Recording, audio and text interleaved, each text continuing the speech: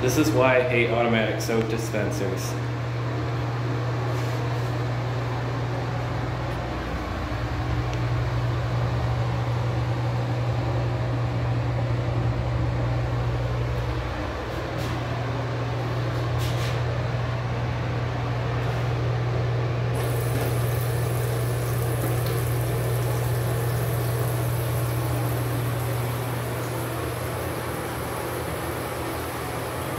Actually, I'll take advantage of this.